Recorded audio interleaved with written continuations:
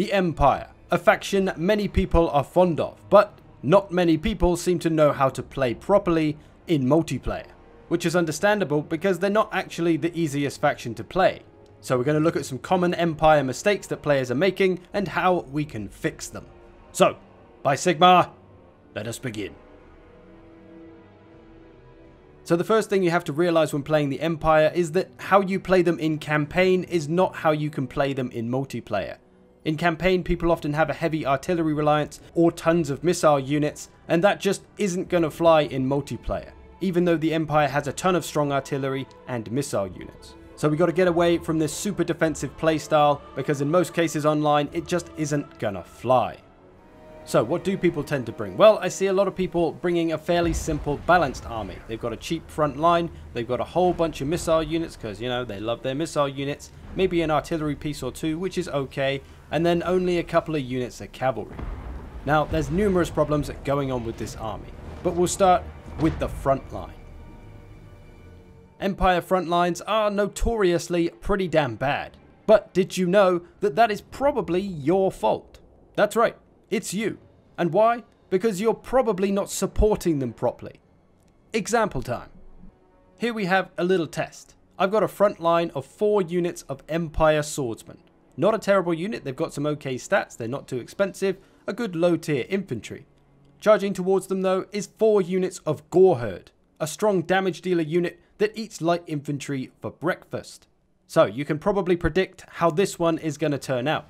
The Goreherd with their high melee attack and weapon strength are able to overcome everything that the swordsmen have whilst taking not too much damage in the process, breaking their leadership before they can really do anything, and this front line is running for the hills.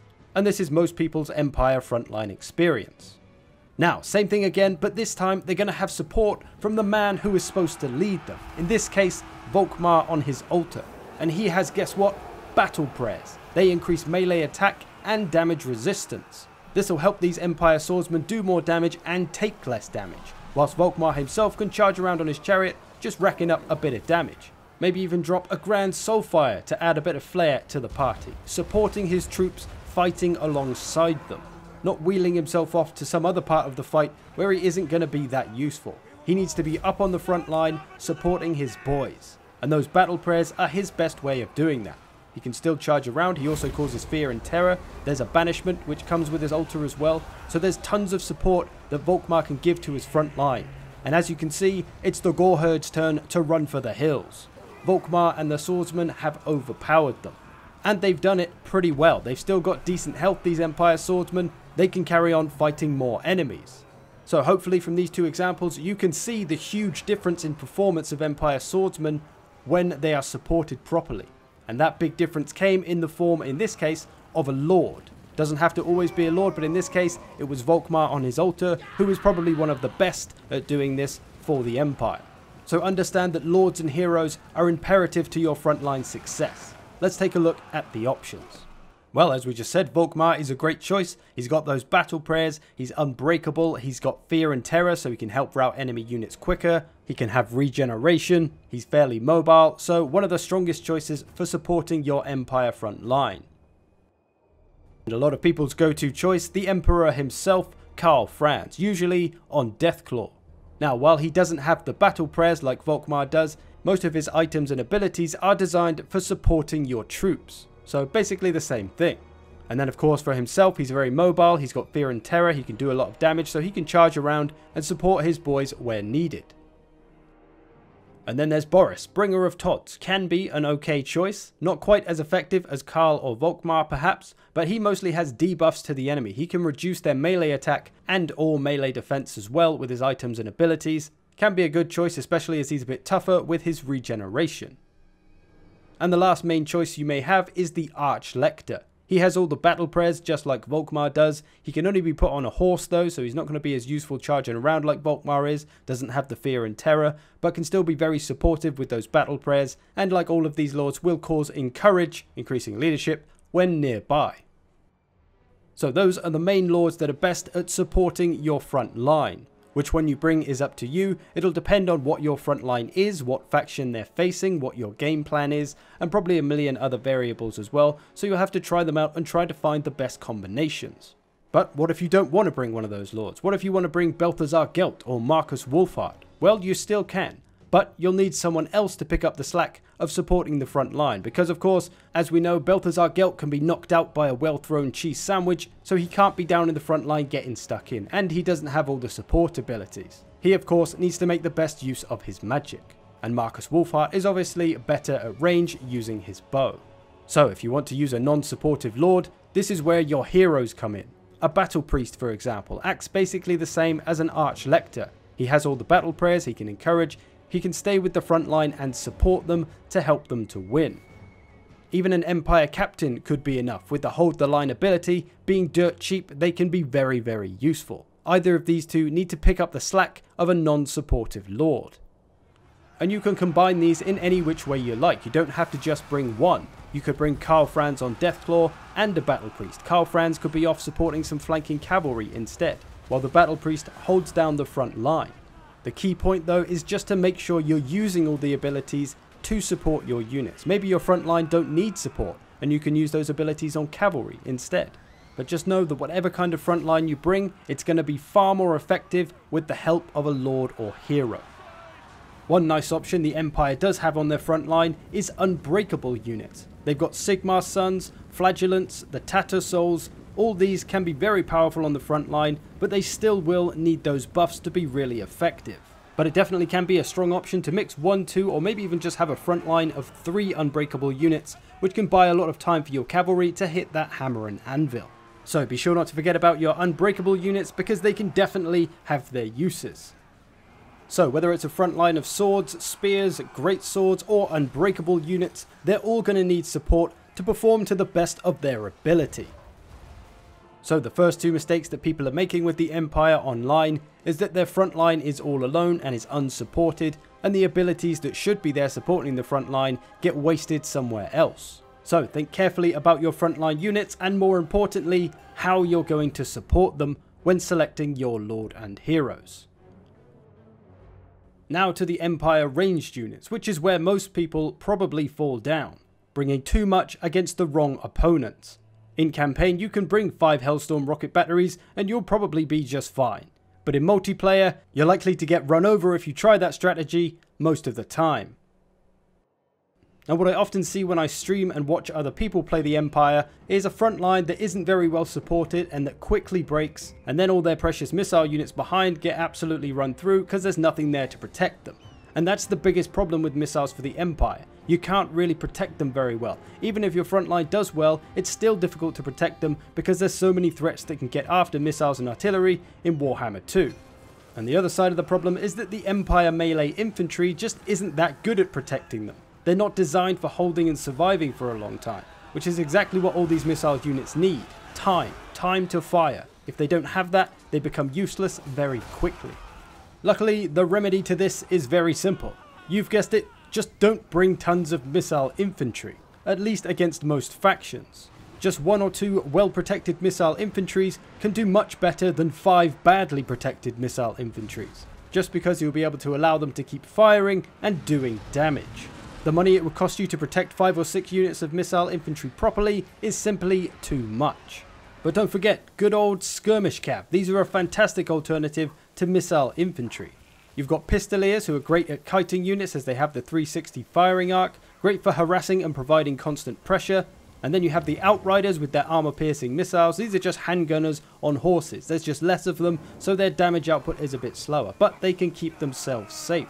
And then one of my personal favourites, the Grenade Outriders. These boys can put out a lot of damage very quickly, and they can keep themselves safe. Great against light infantry, okay against heavy infantry, nice damage dealers. So all of these are nice alternatives to missile infantry. They're all mobile, they can all keep themselves out of trouble, albeit at the expense of damage output, at least for all but the grenade launchers. So give them a go. As a Greenskins player who often likes to run down the Empire with sheer numbers, it's often Skirmish Cav that gives me the most problems, because I can't get a hold of the little bastards. But when someone brings tons of missile infantry, I know my green boys are going to have a good old time crumping gits. And the same goes for artillery. In many situations, it will be simply too difficult to protect it all. So you gotta try and keep the numbers down or just not bring any at all. One or two can be okay, maybe even three against some factions, but that's the important thing. think about the faction you're facing. If they're very defensive like the Dwarfs or Vampire Coast, you know they're probably not going to push up and rush you because they don't have any great units for that role. So 3 units of artillery and a bunch of missiles will be easy enough to protect. But if you're facing a heavy rush or vanguard deployment army like Norsca, the Greenskins, Beastmen or Chaos, you are going to have a very hard time protecting those 3 artillery because they're not going to give you any time to fire, they will be on top of you and they will overrun you. Also be sure to think about the map that you're on. Is it a big map? Is it a small map? Is it a flat map? Does it have loads of hills? How is that going to affect your missiles and artillery? Are they going to have enough time to fire before the enemy reaches you? So the third mistake you may be making with the Empire is that you're bringing too much ranged onto the battlefield, at least against most factions. Don't get me wrong, it's not that you should never bring missiles or artillery. Some can always be useful, but there is such a thing as too much, usually because you won't be able to protect it. But to tie into the next point, one of the bigger reasons you don't want to bring too much ranged is because you want to save a lot of your money to go into the cavalry. And the Empire cavalry has always been and still is one of their strongest points. They've got some great cavalries for great prices that can get a lot done. But they seem to be most effective when there's more of them. And it's incredibly important for them to work together with the infantry and missiles, Nothing in the Empire should be performing solo, because they just don't perform that well when they do. The Empire are a faction that rely on teamwork. All this cavalry though does require a fair bit of micro, because all Empire cavalry is shock cavalry. That means they excel at charging into things, but they're not so great at staying in a prolonged melee fight. So they need to cycle charge, go in, get back out, go in, get back out, repeat. So they are fantastic at charging into lightly armoured infantry. The cheapest two cavalries, Empire Knights and Reiksguard, both not great on the armour piercing front, so they do best against lightly armoured troops, but they can hammer things from the front and do plenty of damage. They can then get back out, set themselves up and go again, racking up tons of damage whilst taking very little damage in return, but only if you can micro them well enough. So that's perhaps the first way you could make good use of these cheaper shock cavalries. The other option is to charge into the back of your engaged units so that they can hit units that are already fighting. This isn't going to do great in the charge front, but it'll do a little bit and will support your frontline melee troops, not only because they'll do damage, but because they can push back models as well. A great way to support your frontline infantry if it's struggling. But the ultimate goal of your cavalry should be no secret, it's the good old hammer and anvil. This is where you bring your cavalry around the back of the enemy lines and you hit their troops while they're engaged fighting your other units. The infantry is your anvil, the cavalry is the hammer, and you smash whatever is in between you. This not only does big damage, but also hits for some heavy leadership penalties as well. So this tactic should really be the ultimate goal with your cavalry if you're looking to support the infantry. It's not necessarily easy to get and you'll very often have to work for it, but it's worth the effort. So the real problem here is that people just don't bring enough cavalry. They prefer to bring more infantry and less cavalry and expect that to win them the battle, when really the cavalry is the strong part of their army. It should be the other way around. You need the nice strong mobile cavalry to compensate for the infantry weakness, because you'll very often find your infantry getting outmatched. If you bring plenty of cavalry, you'll be able to support your front line and still be able to potentially pressure the enemy, get after their missile units, deal with their cavalry, whatever. But if you only bring one or two units, then you leave a lot of heavy lifting to just one or two units. So be sure to support your infantry with your cavalry as much as you can, looking for that hammer and anvil as the ultimate goal. And skirmish cav can also fall into this point of bring more cavalry as they can help support the front line also. Being able to quickly flank round and start shooting things in the back can be a very powerful tactic, very much the same as hammer and anvil. It's all about combined arms and having your different sections of the army support each other. Also realise though that that works both ways. While the cavalry is there to support the infantry, whether melee or missile, it may also need support itself. Empire Knights, Reiksguard, Demigryph, they can all use support depending on the enemy they're facing. They can sometimes be a little bit inefficient against better cavalries, especially Reiksguard and Empire Knights, because they don't have that armor piercing damage. So sending over some cheap spears or getting some missiles firing at the enemy or even some buffs from your lord are all going to help to support your cavalry. I also tend to find as well that Empire Cavalry doesn't trade well with monstrous infantry or single large monsters. Even if they may be able to beat them, it's not great in the value for money aspect if they're completely destroyed after killing their enemy. But sometimes it is necessary to engage these targets, but if you can get missile, magic or ability support, it can certainly help. So the final mistake you may be making is not bringing enough cavalry. Whether it's shock or skirmish cav, all of it is pretty damn powerful for the Empire. Their mobility is an essential asset for supporting your frontline and ranged units. But remember, cavalry needs support also in certain situations. There's of course a million variables, so you have to use your noggin, but if you can correct these four mistakes, you are sure to improve as the Empire and become far more effective, which of course will please Sigmar, which is the only reason anyone plays Empire anyway. One last thing I should mention with the Empire game is their magic. They have a wizard for every occasion. They've got plenty of choices, all which can be useful in the right situation. It's all going to come down to which faction you're facing and or what your strategy is. If you're facing an undead faction that's weak to fire, then a fire wizard is a good call, for example.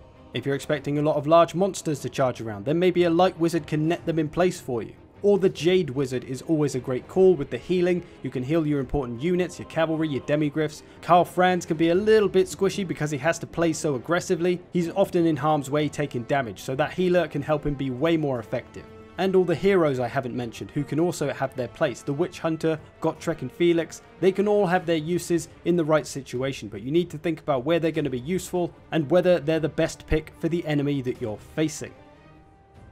And lastly, just to give you a few examples of builds you could bring when playing as the Empire against various factions. Starting off in the top left against the High Elves, we've got Karl Franz on Deathclaw, he's got that Jade healing, like I just mentioned. We've got a bunch of cheap chaff infantry that is just there to tie things up and get in the way and be roadblocks, while most of the work is done by the cavalry. We've got a bunch of Reiksguard, Demigryphs, the Altdorf Gryphites, and some Outriders just for a bit of ranged power. So we can try and cycle charge or hammer and anvil their infantry, have the demigryphs and ranged units or Karl Franz dealing with any large, and then just pressuring their missiles with all the cav. Against the Wood Elves, it's a heavy numbers army with lots of cav, great for pressuring all the missile units that they will likely bring. Infantry will do fine fighting against their infantry, going to get that support from the Arch Lector. Got a lot of fire in this army too with the Blazing Suns and the Fire Wizard. Got the Silver Bullets, very useful unit for the Empire with their Stalk ability. Great for taking down flying units or fending off cavalry, large units. Lots of pressure on the Empire. And then against the Vampire Coast or Vampirates, a heavy numbers army looking to overwhelm them with numbers so they have too many targets to shoot at. But we got a lot of ranged in this army. 5 units, but the Vampire Coast don't really have any great maneuverable units that are likely to get after them. So we should be able to get the money's worth out of them. We've got cavalry to get around the back, cycle charge them, hammer and anvil, and for our lord we've got Balthazar Gelt, who we know can't really support the front line that well. For that we've got two Empire captains, Gelt can use Plague of Rust to help bring down large units or Final Transmutation to work on those ethereal units. So lots of pressure and returning missile fire against the Vampire Coast. And lastly, the Beastmen, again lots of chaffy infantry, got Volkmar with his terror to try and scare things away of the Beastmen with their low leadership, and of course he can support a bit with his prayers. And then just lots of cavalry to cycle charge the crap out of the enemy, Pistoliers great against those Centaurs as they're so lightly armoured, and yeah, hopefully this just gives you a rough idea of how to put together some Empire armies facing different factions.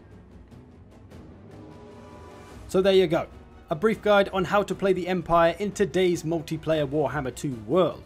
Now I get many people asking about my old Empire army guide and I get many comments saying that hey you should update this guide, it's a bit outdated because the DLCs have come out and things have changed blah blah blah blah blah. And well I do agree somewhat, I actually found watching that video back recently that it's still all kinda true and not really that outdated other than the new units not being in it.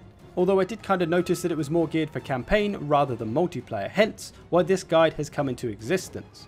The other reason this guide has come into existence is because I don't want to remake that guide just yet, because we've still got Warhammer 3 to come out. I may remake the guide and then Warhammer 3 will come out and then they'll change the Empire somehow and I'll have to remake the guide again, maybe. So I'd rather not waste the time and just give you this little guide in the interim which will hopefully help people improve as the Empire because as I say, a lot of people do seem to struggle with them as they are a harder faction to play. So, my Empire guide will be remade one day, but for now, you'll have to make do with this. I hope you've enjoyed this, thanks for watching, I will see you in the future.